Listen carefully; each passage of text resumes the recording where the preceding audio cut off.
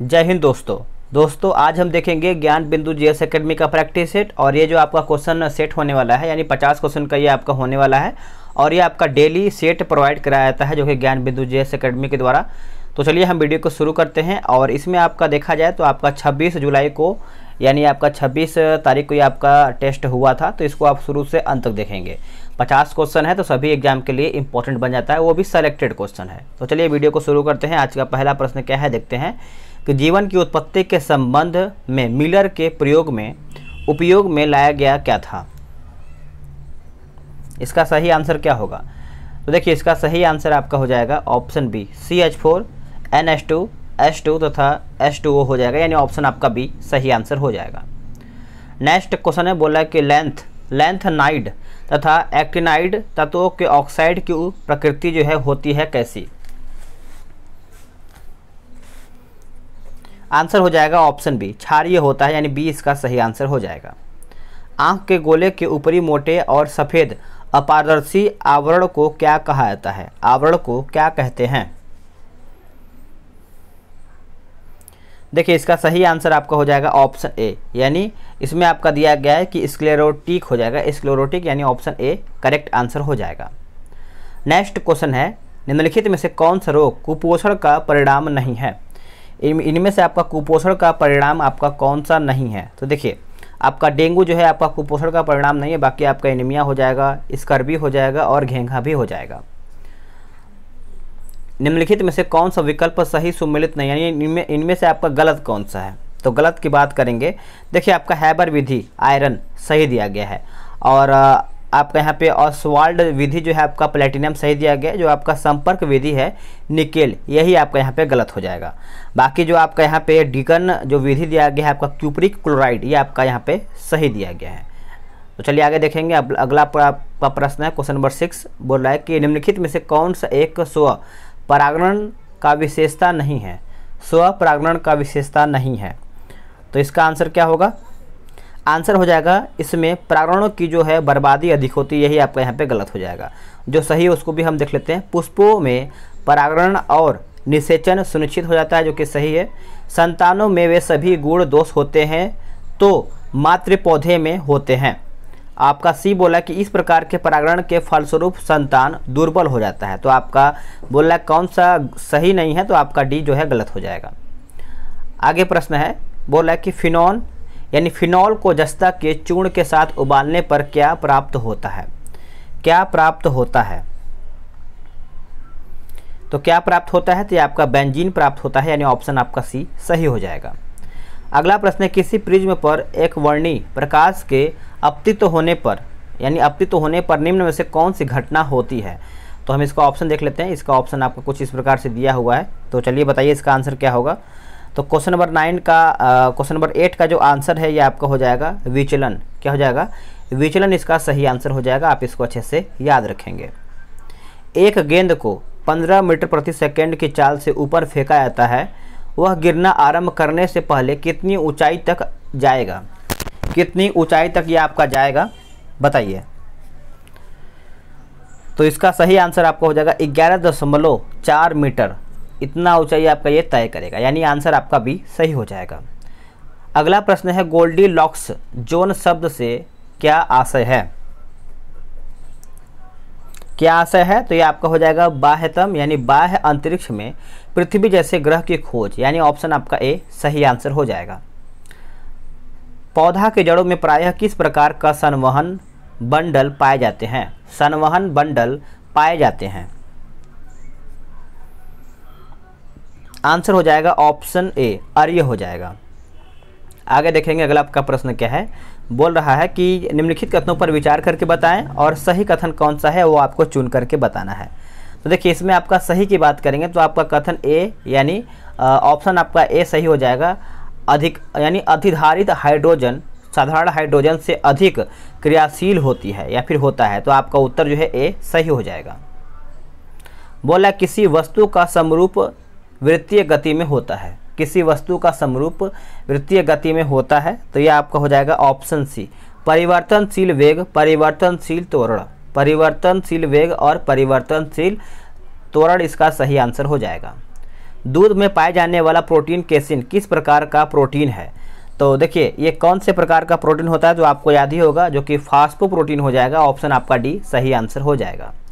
Carbon dioxide CO2 के संबंध में निम्न में से कौन सा एक सही नहीं है? यानी इनमें से आपका जो है गलत कौन सा है? देखिए, यह रंगहीन तथा स्वादहीन गैस होता है जो कि सही दिया गया है और यह विषैली गैस होता है। यही आपका यहाँ पे गलत होता है। विषैली गैस नहीं होता है ये आपका यहाँ पे गलत हो जाएगा, जो सही उसको भी हम देख लेंगे। और ऑप्शन आपका सी बोला कि प्रयोगशाला में संगमरमर पर तनु हाइड्रोक्लोरिक अम्ल के अभिक्रिया से कार्बन डाइऑक्साइड गैस प्राप्त की जाती है, जो कि सही है।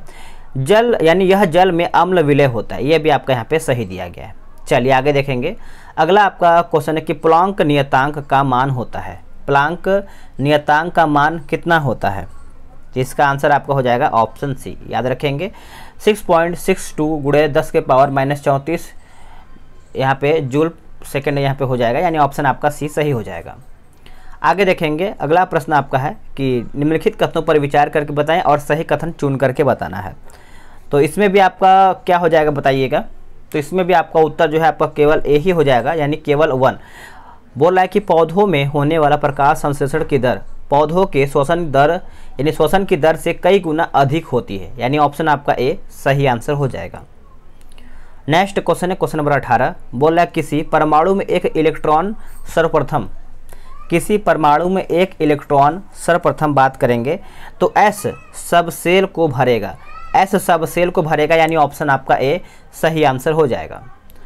अगला प्रश्न है कि एक बटा दो सौ छप्पन के आवर्त काल से कंपायमान वस्तु, ध्वनि, तरंग उत्पन्न करती है तो वायु में 350 मीटर प्रति सेकंड के वेग से प्रगमन, यानी प्रगमन प्रगमन करती है तो ध्वनि तरंग का जो तरंग दैर्घ्य होता है वो आपका कितना होगा? 350 मीटर प्रति सेकंड के वेग से प्रगमन करती है तो ध्वनि का जो तरंग दैर्घ्य होगा वो कितना होगा? तो करीबन आपका 1.36 मीटर होगा, यानी ऑप्शन आपका बी सही हो जाएगा। आगे देखेंगे, एक ऐसा मालवेयर, एक ऐसा मालवेयर जो किसी कंप्यूटर सिस्टम पर अटैक कराते हैं या फिर करता है, उसकी फाइलों को लॉक कर देता है, तथा फाइलों तक एक्सेस के बदले उपभोक्ता यानी उपभोगकर्ता से फिरौती माँगता है, उसे हम क्या कहते हैं? तो उसे हम क्या कहते हैं? तो आपको याद ही होगा, आंसर आपका हो जाएगा ऑप्शन डी, यानी रेन रेन समवेयर हो जाएगा, यानी ऑप्शन आपका डी सही हो जाएगा। निम्नलिखित तो कथनों पर विचार करके बताना है, सही कथन आपका कौन सा है? तो सही कथन आपका हो जाएगा, श्वसन में ऑक्सीजन गैस का उपयोग होता है, यानी ऑप्शन आपका ए सही हो जाएगा, केवल आपका पॉइंट वन सही है। निम्नलिखित में से कौन सा विकल्प यहाँ पे सही सुमेलित है? इनमें से आपका सही कौन सा दिया गया है? टमाटर। टमाटर जो है आपका ऑक्जेलिक अम्ल के अंतर्गत आता है तो आपको याद ही होगा। और इमली, सिरका, दही आपको याद ही होगा, ठीक है? तो इमली बताइए टाटेरिक अम्ल तो जो कि आपका यहाँ पे जो 22 का उत्तर दिया गया है, आपका यहाँ पे सी सही दिया गया है। चलिए आगे देखेंगे, अगला आपका प्रश्न क्या है? क्वेश्चन नंबर तेईस नंबर देख लेते हैं। क्वेश्चन नंबर तेईस आपका बोला कि विद्युत फ्यूज के संबंध में निम्न में से कौन सा एक सही नहीं है? यानी इनमें से आपका गलत कौन सा है? देखिए, इसे समानांतर, यानी समांतर क्रम में जोड़ा जाता है, यही आपका यहाँ पे गलत हो जाएगा। जो सही है, उसको हम देखेंगे। यह विद्युत परिपथ को अति भा, अति भारण से बचाता है, जो कि सही इसका दिया गया है। यह विद्युत परिपथ को लघुपथन लघुपथन से बचाता है ये भी आपका सही है। इसे विधु विधु मन में, यानी विधुमय तार से जोड़ता है, यानी लाइव वायर से आपका यहाँ पे यहाँ पे जोड़ा जोड़ा जाता है तो आपका ए बी सी सही दिया गया है, लेकिन आपका यहाँ पर जो डी दिया गया है, ये आपका गलत हो जाएगा। अब आते हैं अगले प्रश्न पे। निम्नलिखित में से कौन से मानव हार्मोन का जोड़ा एंटागोनिस्टिक हार्मोन है? एंटागोनिस्टिक हार्मोन है। तो देखिए, ये आपका हो जाएगा ऑप्शन सी हो जाएगा, यानी कैल्सी कैल्सीटोनिन कैल्सीटोनिन पाराथामोन हो जाएगा, यानी ऑप्शन आपका सी, सही आंसर हो जाएगा। 25 आपका बोल रहा है कि निम्नलिखित कथनों पर विचार करके बताना है और सही कथन आपको चुन करके बताना है। तो इसमें भी आपका केवल ए सही हो जाएगा, यानी किसी वर्ग के सभी तत्वों की संयोजकता समान होती है। ऑप्शन आपका ए करेक्ट हो जाएगा।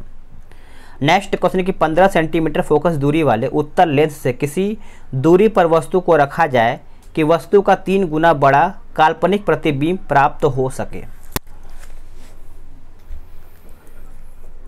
आंसर हो जाएगा आपका ऑप्शन बी 10 सेंटीमीटर। आप सब लोग इसको अच्छे से याद रखेंगे। निम्नलिखित में किस प्रकार के जनन में निषेचन नहीं होता है? निषेचन जो है आपका यहाँ पे नहीं होता है। तो किसमें नहीं होता है? तो देखिए, इसमें आपका नहीं होता है, इनमें से सभी आपका यहाँ पे हो जाएगा। मुकुलन हो जाएगा और द्विखंडन हो जाएगा और काइक भी हो जाएगा। आगे देखेंगे, ज़ीरो डिग्री सेल्सियस ताप वाली एक गैस का निश्चित आयतन किसी ताप पर दुगुना हो जाएगा यदि दाब स्थित है या फिर स्थिर है। कितना? तो देखिए, इसका आंसर आपका 28 का आपका हो जाएगा दो सौ तिहत्तर डिग्री। दो सौ तिहत्तर डिग्री इसका सही आंसर हो जाएगा। 220 वोल्ट पर एक बल्ब 25 घंटे में एक यूनिट ऊर्जा का उपभोक्ता करता है, यानी उपभोग करता है, खर्च करता है। तो बल्ब का प्रतिरोध ज्ञात करके बताएँ। तो क्या होगा इसका उत्तर? 1210 ओम इसका सही उत्तर हो जाएगा। अगला प्रश्न है कि L S D L S D है क्या? एल एस डी क्या है? तो एल एस डी की बात करेंगे तो ये आपका हो जाएगा ऑप्शन डी, यानी हेल्यूसिनोजेंस हो जाएगा, यानी ऑप्शन आपका सी, सही आंसर हो जाएगा। चलिए अब आते हैं क्वेश्चन नंबर थर्टी वन पे। बोल रहा है कि निम्न में से कौन सा कार्यक्रम संचार प्रौद्योगिकी से संबंधित नहीं है? यानी संचार प्रौद्योगिकी से संबंधित आपका नहीं है। तो देखिए, आपका डिजिटल इंडिया सही है और डिजिटल लोकर भी सही है स्टार्टअप इंडिया से। है लेकिन आपका यहाँ पे संचार प्रौद्योगिकी से कौन संबंधित नहीं तो आपका स्मार्ट सिटी, ये आपका यहाँ पे गलत हो जाएगा। अगला प्रश्न है कि भारत एवं फ्रांस के सेनाओं के बीच होने वाले संयुक्त सैन्य अभ्यास को नाम क्या दिया गया है? इसको क्या नाम दिया गया है? तो देखिए, आप याद होना चाहिए। भारत और फ्रांस पूछ रहा है तो इसका आंसर आपका हो जाएगा ऑप्शन सी। शक्ति, इसका सही उत्तर हो जाएगा। शक्ति, ठीक है? चलिए नेक्स्ट क्वेश्चन है कि भूकंप बहुत खतरनाक होता है। जब रिएक्टर पैमाने पर उसकी ऊर्जा होती है, यानी कितने से या फिर कितना इसका ऊर्जा होता है, तभी यह भूकंप बहुत ही ज़्यादा खतरनाक माना जाता है। तो सात से अधिक अगर ये होता है तो बहुत ही खतरनाक माना जाता है, यानी आपका उत्तर जो है डी सही आंसर हो जाएगा। एक दोलन चार सेकेंड में चालीस बार दोलन करता है तो इस दोलन का आवर्तकाल कितना होगा? आंसर क्या होगा? तो आपका हो जाएगा ज़ीरो पॉइंट वन सेकेंड हो जाएगा, यानी ऑप्शन आपका यहाँ पे भी सही आंसर हो जाएगा। द्रव्य के अंदर दाब कार्य करता है। द्रव्य के अंदर दाब जो है कार्य करता है किस ओर? तो ये जो कार्य करता है, आपका सभी दिशाओं में कार्य करता है, यानी आपका नीचे की ओर, ऊपर की ओर तो आपका उत्तर जो है आपका सी, सही आंसर हो जाएगा। मनुष्य में मनुष्य में जरायु निर्माण कब होता है? प्लेसेंटा जो है आपका कब निर्माण होता है? तो इसका आंसर क्या होगा? देखिए, इसका उत्तर जो है आपका हो जाएगा, यानी इसका राइट आंसर आपका हो जाएगा ऑप्शन बी भ्रूण रोपण के चार सप्ताह के बाद, यानी ऑप्शन आपका बी सही उत्तर हो जाएगा। नेक्स्ट क्वेश्चन है कि यदि किसी ग्रह का द्रव्यमान एवं त्रिज्या दोनों पृथ्वी से आधी हो तो इस ग्रह पर गुरुत्वीय त्वरण, यानी जी का मान क्या होगा? जी का मान क्या होगा, बताइएगा। तो जी का मान जो है आपका उन्नीस दशमलव छः मीटर प्रति सेकंड स्क्वायर हो जाएगा, यानी ऑप्शन आपका सी सही आंसर हो जाएगा। अगला प्रश्न है कि अभिक्रिया J N O plus C O J N plus C O two के संबंध में कौन सा कथन यहाँ पे सही दिया गया है? तो सही दिया गया है तो देखिए, इसको आप रोक करके आंसर कर सकते हैं तो आपका जेड एन ओ का अवकरण होता है, यही आपका यहाँ पे सही उत्तर हो जाएगा। तो डी यहाँ पे राइट आंसर हो जाएगा, याद रखेंगे। अगला प्रश्न है कि निर्वात में स्वतंत्र रूप से गिर रही सभी वस्तु का समान पूछ रहा है, क्या होगा, बराबर होगा या फिर वेग समान होगा? इस तरीके से आपका क्वेश्चन का आंसर पूछ रहा है। तो जो इसका त्वरण होता है, यही आपका यहाँ पे समान होगा। तो आपका बी सही आंसर हो जाएगा। अगला प्रश्न है कि अमेरिका द्वारा जापान के नागासाकी शहर पर गिराए गए परमाणु बम में इस्तेमाल हुआ था क्या? तो ये बहुत ज़्यादा इंपॉर्टेंट है और कई बार एग्ज़ाम में पूछा भी गया है। तो क्या इस्तेमाल हुआ था, यही आपका यहाँ पे प्रश्न पूछ रहा है। तो पता ही होगा आपको प्लूटेनियम यहाँ पे इसमें उपयोग किया गया था, यानी यूज़ किया गया था। आंसर आपका सी सही हो जाएगा। प्रतिध्वनि उत्पन्न होने का कारण क्या है? प्रतिध्वनि उत्पन्न होने का कारण क्या है? तो देखिए, इसका यही कारण होता है ध्वनि का परावर्तन। ध्वनि का परावर्तन इसका सही आंसर हो जाएगा। न्यूनतम वेधन शक्ति वाले रेडियोधर्मी विकिरण है। न्यूनतम वेधन शक्ति वाले रेडियोधर्मी विकिरण है। तो देखिए, इसका उत्तर आपका हो जाएगा ऑप्शन ए, आप सब लोग याद रखेंगे। मानव शरीर के लिए ऊर्जा का मुख्य स्रोत क्या है? मानव शरीर के लिए ऊर्जा का मुख्य स्रोत, देखिए, ऊर्जा के लिए बात करेंगे तो आपका होता है ऑप्शन डी, कार्बोहाइड्रेट। कार्बोहाइड्रेट ज़रूरी होता है ऊर्जा के लिए तो आपका उत्तर जो है डी, सही हो जाएगा। अगला है कि दस एन का कोई बल पाँच के के किसी पिंड पर दो सेकेंड तक लगता है तो इस बल द्वारा किया गया कार्य क्या होगा? जूल में पूछ रहा है तो देखिए इसका आंसर क्या होगा बताइएगा। तो चौवालीस का जो उत्तर है आपका हो जाएगा चालीस जूल, यानी ऑप्शन सी। छिपी हुई माफ़ कीजिएगा इसमें पूछ रहा है कि छिली हुई सब्जियों को धोने से कौन सा विटामिन जो है निकल जाता है? इसमें बोला गया है कि इसीलिए बहुत लोग बोल बहुत लोग बोलते हैं कि पहले आप सामान को धो लीजिए, उसके बाद छीलिए। तो उसके बाद छीलने के बाद मत धोइए। इसमें आपका पूछ रहा है कि कौन सा विटामिन जो है आपका निकल जाता है, नष्ट हो जाता है तो आपका विटामिन सी, यानी ऑप्शन ए। ठीक है? चलिए, नेक्स्ट क्वेश्चन देखेंगे। कृत्रिम वर्ष कृत्रिम वर्षा करने में किस रसायन का प्रयोग किया जाता है? किस रसायन का प्रयोग किया जाता है? तो ये आपका हो जाएगा सिल्वर आयोडाइट। सिल्वर आयोडाइट इसका सही आंसर हो जाएगा। एक फायदम बराबर होता है किसके?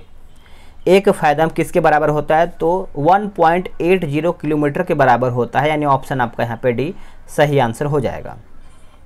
एक वैद्युत बल्ब में, एक वैद्युत वैद्युत बल्ब में टंगस्टन तार के साथ साथ ऑर्गन गैस क्यों प्रयुक्त की जाती है? आंसर हो जाएगा बल्ब की आयु बढ़ाने के लिए, यानी ऑप्शन आपका ए, सही आंसर हो जाएगा। नेक्स्ट क्वेश्चन है कि निम्न में से किस पदार्थ का आवर्त जो आपका आवर्तनांक है, सबसे ज़्यादा होता है। आंसर हो जाएगा ऑप्शन बी, हीरा। हीरा इसका सही उत्तर हो जाएगा। अगला है कि 2m फोकस दूरी वाले अवतल लेंस की क्षमता कितनी होती है? डायप्टर में पूछ रहा है तो देखिए, minus zero point five dioptre होता है, यानी आपका उत्तर जो है आपका ए, सही आंसर हो जाएगा। तो फ्रेंड्स, आप सभी लोग का यहाँ पे 50 क्वेश्चन समाप्त हो गया है। वीडियो को लाइक करना है आपको और शेयर करना है। और आपने कितना प्रश्न सही किया ये भी आपको कमेंट करके बताना है। अगर आपका कोई सुझाव है वीडियो से संबंधित कि इसमें आपको सर सुधार करना चाहिए इस तरीके से तो आप सब लोग कमेंट करके बता सकते हैं। उस पर पूरा कोशिश किया जाएगा उसको आगे सुधार करने के लिए। मिलते हैं एक नई वीडियो में। आज के लिए इतना ही।